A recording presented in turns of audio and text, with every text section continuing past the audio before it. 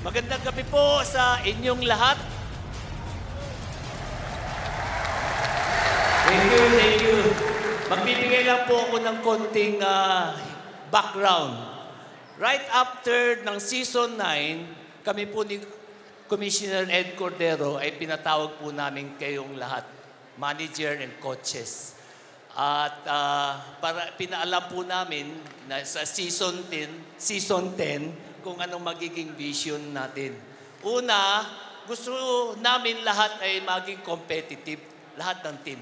Pero competitive, pagalingan tayo sa skill, sa paglalaro, sa coaching.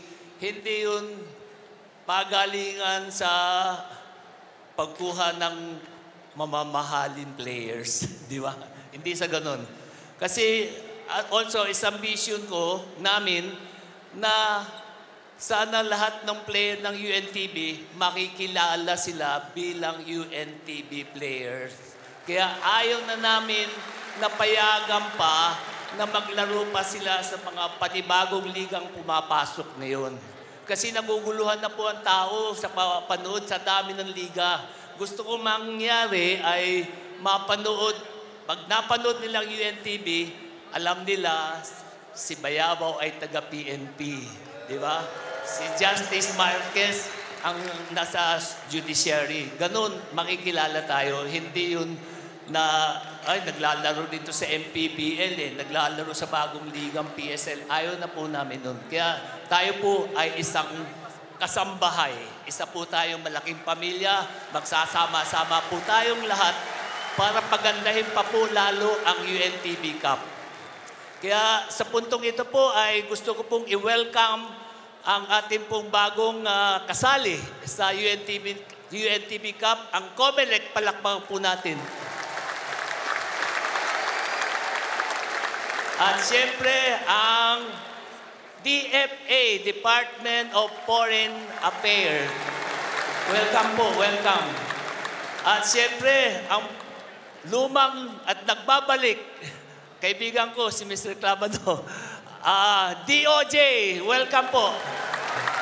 From, from 12 teams, 14 na po tayo.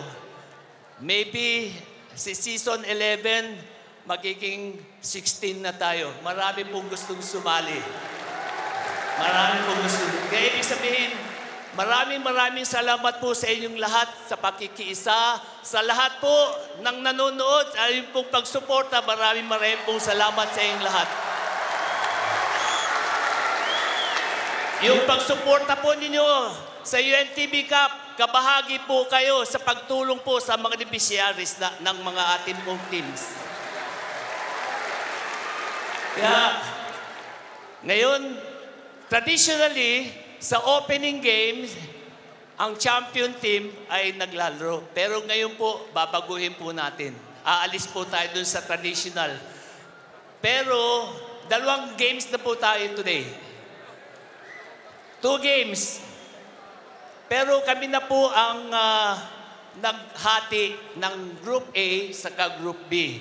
Kaya tonight, Bubunutin po natin kung sino maglalaro sa Group A at sa Group B. At magbubunot din po tayo kung sino ang first game at sino ang second game. Para fair, kasi sayang naman po lahat tayo ay pumunta rito para may pagkakataon po tayo makapaglaro. Siyempre, sino mo naman player ang ayaw maglaro sa ganitong opening game at napakarami po natin audience.